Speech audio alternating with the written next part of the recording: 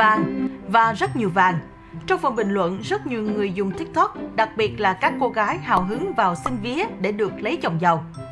Thưa quý vị, đoạn video dài chưa đầy một phút với tựa đề Cô dâu 50 cây vàng của ngày hôm nay đang được chia sẻ rầm rộ trên mạng xã hội. Trong clip là hình ảnh cô dâu đeo đầy vàng trên tay và cổ trong ngày đính hôn của mình. Nhiều người còn hài hước bình luận chắc đây chính là gánh nặng lấy chồng mà nhiều người muốn có. Đoạn clip sau khi đăng tải đã nhanh chóng nhận về hàng triệu lượt xem, hàng trăm ngàn lượt thích, bình luận và được chia sẻ khắp các trang mạng xã hội. Trong đoạn video được đăng tải, cô dâu dường như không còn chỗ để đeo thêm vì vàng kín mít từ tay đến cổ. Dù có phần nặng, song cô dâu vẫn nở nụ cười thật tươi, thể hiện được niềm hạnh phúc trong ngày quan trọng trong đời mình. Em thành tâm xin vía cưới được nhiều vàng ạ. À. Ôi, nặng gánh quá, chúc mừng cô dâu nhé. Lấy chồng là một gánh nặng, nhưng mình thích gánh nặng. Theo tìm hiểu, người đăng tải đoạn clip là anh Nguyễn Minh Trí, 21 tuổi, ngụ ở thành phố Cần Thơ.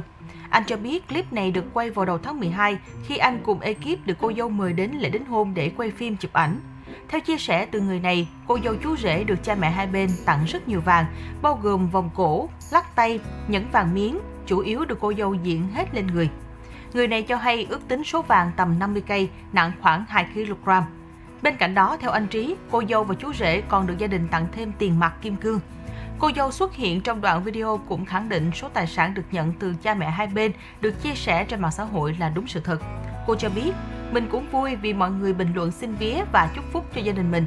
Nhưng hơn cả, ngày mình lấy chồng, vợ chồng mình được nhận số tài sản lớn như vậy thì mình cũng hạnh phúc vì cha mẹ rất thương vợ chồng mình. Tụi mình không biết nói gì hơn ngoài lời cảm ơn tới cha mẹ, cô bác hai bên. Còn quý vị, quý vị cảm thấy như thế nào sau khi xem đoạn video này? Hãy cho chúng tôi biết bằng cách để lại bình luận bên dưới video của chúng tôi nhé. Quý vị cũng đừng quên bấm like, đăng ký theo dõi và ấn vào nút chuông để không bỏ lỡ những tin tức được chúng tôi cập nhật liên tục trên kênh YouTube Báo Thanh niên.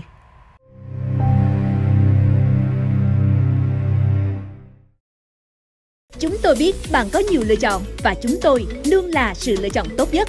Đăng ký kênh youtube Báo Thanh niên để cảm nhận nhịp thở xã hội đầy màu sắc trên màn hình của bạn.